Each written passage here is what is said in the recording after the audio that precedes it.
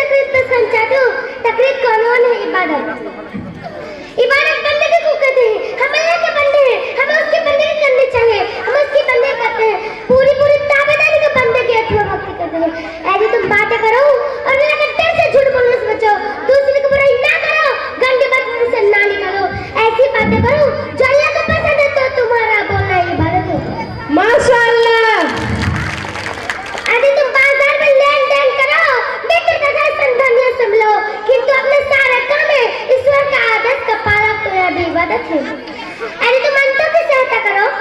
भूखे खाना खिलाओ रोगियों की सेवा करो और ये सारे काम ईश्वर को प्रसन्न करने के लिए करे तो यह भी इबादत है यदि तुम अच्छे ढंग से रोजी कमाओ ईमानदारी से काम करो पूरी काम माशाल्लाह। साथी साथो और जान लो कि अल्लाह ने तुम्हारा हाल क्या कर दिया.